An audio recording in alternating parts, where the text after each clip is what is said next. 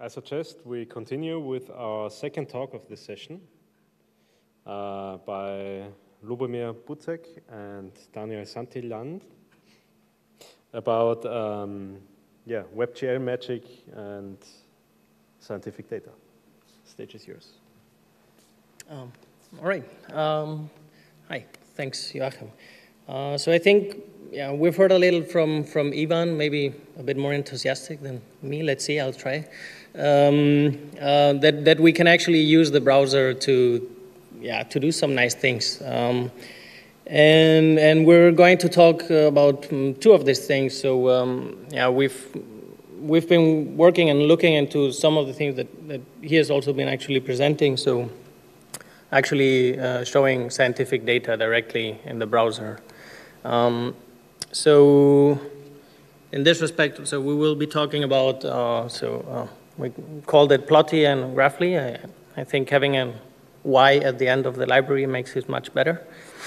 Um, and so uh, one, one takes a bit the approach of, of looking at, at uh, raster uh, manipulation and, and this rendering in, in the web browser and the other, we, well, we worked with, with uh, vector graphics and, and how we can actually move away from that and, and, and do things in, in the shader to, to actually get some performance. Um, so maybe from us, just to say, so uh, we're from EOX. Um, I, maybe you've seen so some talks about uh, raster manipulation from Joachim Mapchete, and also Fabian tomorrow, and our colleague uh, um, Peter uh, will be talking about some other libraries. Um, so we work mainly, uh, basically most of our developments are free and open source. So I think um, uh, our main client being ESA, I think it's really nice to see that, uh, that we can move like that and do our developments like that. And, and what we have seen is that um, as we go along the years and, and and yeah, go from one project to the other, we're actually trying to, uh, we see that, that modular development, so instead of doing like big things uh, that, that are usually don't fit exactly the use case of, of every person, we're trying to go like more piecewise.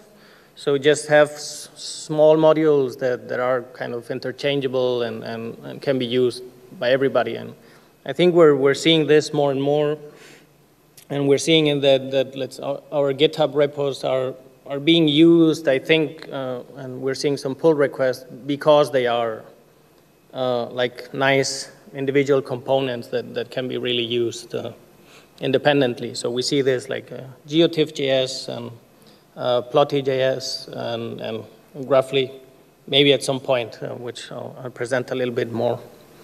Um, so yeah, that's, let's say, that's a bit about us. And I'll let um, Lubo talk a little bit about um, Plotty and, and uh, maybe, I think this was, um, the initial stages were presented already the, the last FOSS4G. Uh, so uh, yeah, we'll, we'll talk a little bit, or he'll, he'll present a little bit about um, what new things have, have come along and what, what he has also helped uh, implement or integrate at least. Yeah. So. Okay. Uh, hi, everybody. Um, I will first uh, shortly introduce Plotty. Um, Plotty is a really lightweight uh, library for putting uh, one-band raster data on a canvas. That's sim as simple as it can get. Um, the, as, as uh, Daniel said, it has already been uh, introduced three years ago. Since then, the, dev the development has uh, gone to a phase where everything that we want Plotty to do, it already does. And the main addition uh, has been the moving to the ES6 module style uh, to be able to import uh, more easily and to go with the, stand, uh, the standard movement, and also adding the raster uh, algebra functions to be run directly on the shader. Uh, as being said, the purpose uh, of the library is to quickly set a color scale to the data that we give it. Uh, it tries to use the WebGL if possible, which all new browsers definitely can. It also provides a fallback to software, uh, to standard software uh, rendering if the WebGL is not provided. However, uh, in most of the browsers, this will not happen. The motivation to create the library some years ago uh, was to um, try to uh, colorize the raster uh, images in the browser because in some cases it might be much faster, in some cases not. It always depends on the use case and on the speed with which you can actually put, uh, get the image to the user's browser. So previously all the renderings were done or by us uh, in a WMS with some preset styles, but then every change of the style needed a new fetch on the server. So another option then emerged as uh, getting the full file uh, by, by WCS and then try to render it by WebGL. Another option, uh, which emerged a few years earlier, is with uh, GeoTIFF.js uh, to get the part of the GeoTIFF uh, parsed, and then only the relevant data or relevant bands will be uh, visualized. So the, what the library can do uh, is basically only these things. It should be enough for the use case that we provided uh, to. Uh, so uh, the new thing is the dataset combination, where for each pixel, uh, given the math formula, using uh, the plus minus signs and the normal mathematic operations, uh, and also some functions like sinus, cosinus, basically anything that the underlying GLSL uh, shading language can provide, uh, compute a value. And this value will then be colorized based on a color scale. I've actually uh, prepared a demo, which then I figured out that is not working, so sticking back to the screenshots, good old screenshots. First is a static demo, which uh, on the click just showed some arbitrary data. It, this is a sinus function. So the first part actually only produces our values, and then the plotty plot uh, chart is created. It targets the canvas element, it sets the data, and it sets the width and the height. That's all the input that it needs you can set the color scale or use the default one, and then you render through the canvas.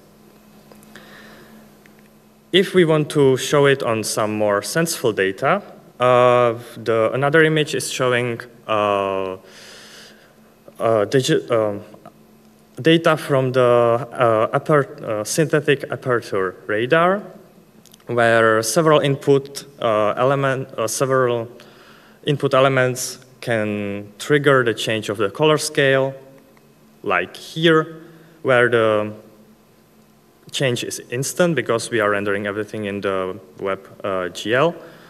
We can set the min and max, basically select the domain, which uh, can then be either clamped or not, which also has an influence uh, on the resulting image, of course.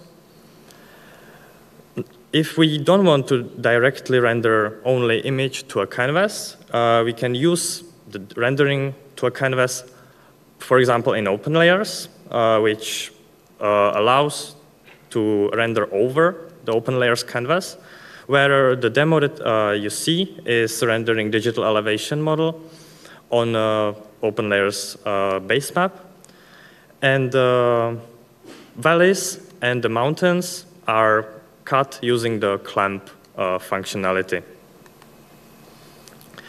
The last demo is showing uh, Sentinel-2 RGB near infrared image, where here all the, uh, the first three bands, RGB, are used, uh, where just the intensity of the image is uh, computed for each pixel, which means R plus G plus B equal uh, divided by 3 and then a simple color scale is applied on the resulting values.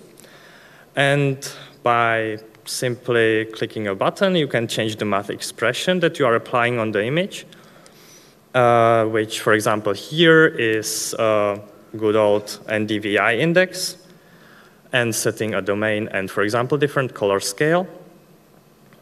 A quite similar image can be obtained using different formula, where uh, one of many formulas for detecting chlorophyll A, A is used, uh, where again the three bands, uh, uh here the RGB bands are used and their specific wavelengths. And again, a domain is set on this resulting image. Uh, those, were, those were just a few really simple examples what the library can do. And there are several more. For example, you could um, use a cesium to visualize a 3D view, and then Plotty can be also uh, added on top of that to visualize some uh, nice uh, behavior or uh, some motion. With this, uh, I'm actually giving word to Daniel to talk about the second part of our attempts. Um, thanks. So yeah, going just for a second back, maybe hopefully no need to go to the fragment data directly. So yeah, you can use the library to use some expressions, hopefully a little bit more and easier than having to dig, dig down deep into uh, what you're doing. So, all right. Um, so next uh, library is uh, and the the idea was uh, so not necessarily EO data. That is why it's it's um, in brackets in the title. Uh, basically, uh, we have seen in many projects that that we need to to show a scatter plot. And we've seen a lot of screenshots of showing like uh, timelines and things like that. So points connected with lines. And um, when we began with this adventure, we basically said, okay, it makes sense to use scalable vector graphics in the, in the browser.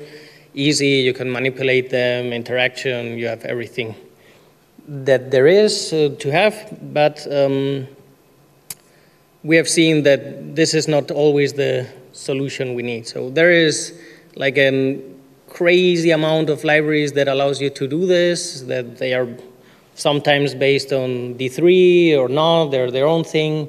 And they are usually like, you can generate so many types of plots. And, um, but when it comes to solving your specific use case, if, if it's not matching exactly what the library does, it gets complicated quite, quite quickly, and this is what we were seeing. And especially one of the things that, that was a main issue for us is that we were trying to render, I don't know, more than 6,000 points at least, um, which which was really difficult to do with, with SVG. Uh, so uh, the, the browser resources for that is, is ridiculous. Um, so we began with the idea like, oh, okay, shader can do everything, right? um, so let's do it in the graphics card. Um, I mean, basically, it's not inventing anything new, but I think we've brought uh, multiple things together that work really nicely together, and I think it, it's um, quite a nice thing to have. So this, this is something at least that we needed. Um, so maybe let's compare uh, vector graphics against raster. So what, what does the one thing give you and the other not? So with SVG, you have like really nice manipulation. You have groups. You can uh, transform complete groups. You, you can do a lot of really nice uh, like animations and really a lot of nice stuff. Uh, but as I said, one of the main limitations is really how much stuff you can use. So it, it gets, the system gets quickly overwhelmed. So it, you have all of this as nodes and this has to be kept track of. So um, that's quite intense. And the raster, on the other hand, like once you render it, you're basically saying this pixel is this color, and that's it. Like uh, there's no real way of interacting with this, or yeah, there are some ways of doing it, but no trivial ways. So it's it's difficult to interact and, and to manipulate, but it's it's like super fast usually, depending on how you use it. But yeah, that's the idea. Um, so what did we do? We thought, okay, let's try to win back the things that we lose using raster. So basically, um, how do we address and, and, get information of what we're rendering? And what we do is, and this is often done in, in computer graphics to just render um, the image twice. And once you, you render like what you're showing to the user, and the other time you use a unique color, and you can go insane. You have uh, the the human eye does not differentiate, but if you're picking the color, you have like one billion combinations. One, two, three, six, 16 million. Uh, so you can render a lot of things and then just use a different color for every point, or depending on what you're rendering. So uh, and then you can you have this raster, and when you move move the mouse over, you just pick the color and use the color as, as a reference to your actual attribute. So you, you keep the interactivity there. Um, here I show just the, the code for uh, reading the pixel value, which is super fast. Uh, just you can do it on mouse over, so that's no problem. Um, the next thing we combined is um, so um, it would be nice to just show, show rectangles um, as, as uh, in the plot, but uh, as soon as you're showing one or two parameters, you want to differentiate them somehow. So you need, need different forms. You need like uh, triangles and squares, and um, it would be quite painful, or I mean, at least not as efficient to do this as, as primitives, so actually rendering this. So again, the fragment shader to the rescue, you can do some pixel manipulation, uh, which works great. So we, we use just the dot uh, primitive we're rendering. And so there's some, yeah, really nice, uh, let's say, uh, uh, descriptions of, of what can be done and, and great resources linked here, uh, with, which gave a lot of inspiration. And, and apart from that, you, you can use uh, instancing, which again, even further, so, so, you're using like an instance of the same object with uh, different characteristics. I don't know how deep we want to go into this. Uh, so what you do is uh, you basically define your, your information, let's say in JavaScript, generate some attributes of what you need, like uh, the position, uh, the value, uh, size, and, and symbol. Let's say this would be five, um, five attributes you have for each of the dots you're representing. And then you bind this, uh, create a buffer, and pass it, say the location for, for the shader, and then basically pass it, pass it to the shader. Let's say uh, this is how you define and, and pass the information. Um, to the shader. Uh, instancing is uh, WebGL uh, 2, uh, but there's compatibility for WebGL 1 where you can try to get the extension and if the browser supports it. Uh, yeah, so I think I will not go more into detail. If there are questions, just feel free afterwards. So what can you do? So how, how am time? Just to one minute. All right, so I'm all right, so um, well, this is taking longer than expected. So this is basically what you can do in the shader. You can do some calculations of uh, the distances, and then you can um, create different shapes for each of the dots you're rendering. So this, this gives you, like for example, this would be how you render a circle using just the, the let's say, dot primitive, which would be a rectangle. And this is basically how it looks like. So we're here, here it's an example of, of three different parameters we're rendering uh, with, with the scatter plot, and they are all just dot primitives, but just in the fragment shader, we uh, apply some calculations to manipulate each of these points. And the, the other neat feature that, that we combined is, like, let's say, debounce rendering. So instead of uh, rendering for every manipulation that you do, uh, you, you do introduce a debounce rendering that uh, you actually use a fixed image and manipulate the image, like scale it and transform it. And once the movement is done, um, the, the rendering is done again.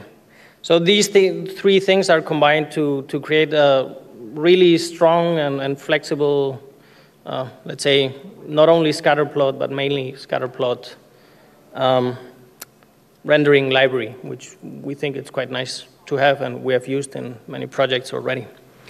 Um, all right, so depending on the questions, uh, maybe in the five minutes I can give like a, I'll just give like a super short to give you an example of what this means. Uh, oh, sorry.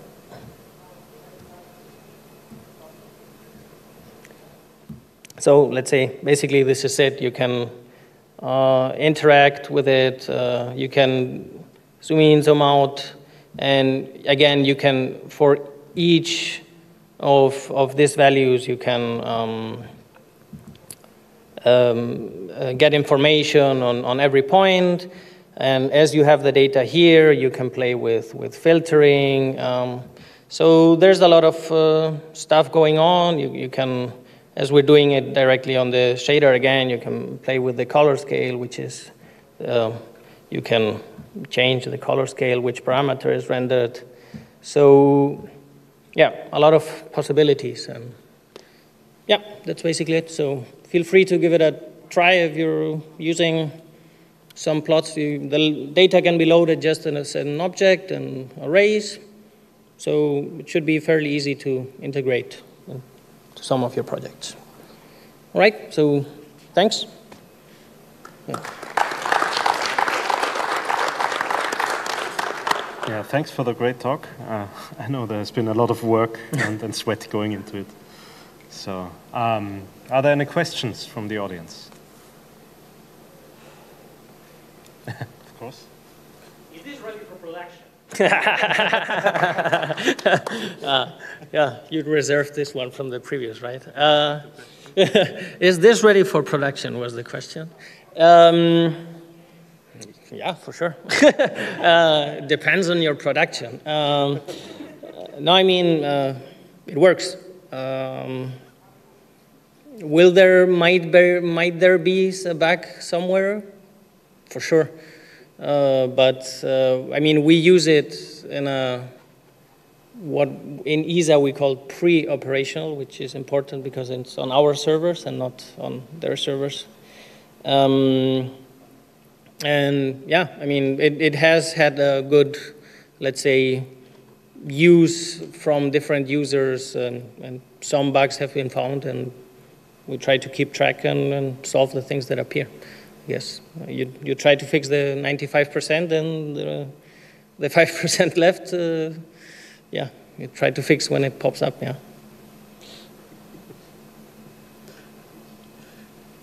Okay, next question.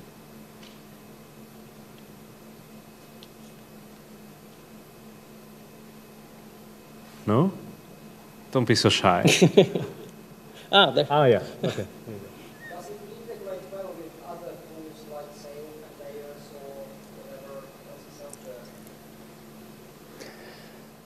Um, yeah, so the, the question was if it integrates with, with, well, with other tools, like, for example, open layers. Um, difficult to say. I mean, um, in principle, you give this thing a canvas element, and that's it. Like, it doesn't need more. The, the question is, I don't, I don't know, like, how you combine a plot with a map.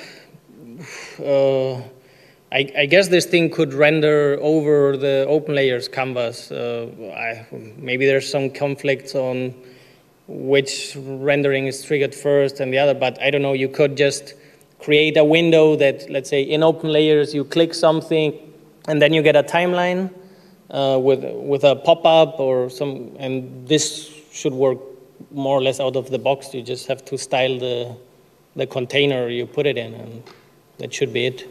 Yeah. All right. Okay. Is there no one else? Okay, good. Then, yeah, give applause to the presenters. Thanks. Thank you.